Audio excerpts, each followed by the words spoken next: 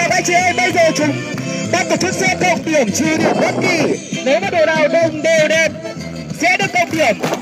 Và đồ nào không đều sẽ bị trừ điểm. Trừ tim số 3 50 điểm vì chưa đều